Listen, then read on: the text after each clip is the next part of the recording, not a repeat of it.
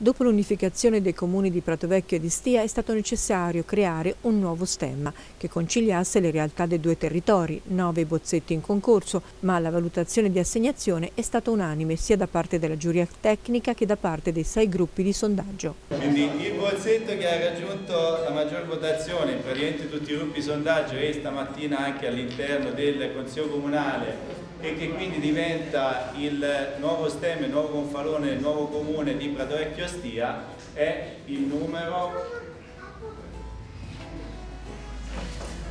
2.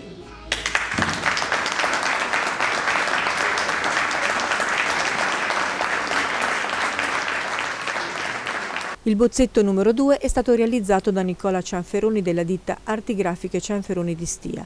Lo stemma riprende ed unisce due elementi comuni degli stemmi degli estinti comuni di Stia e di Pratovecchio, ovvero il giglio fiorentino e il leone rampante, rivisitandoli in chiave semplice e moderna.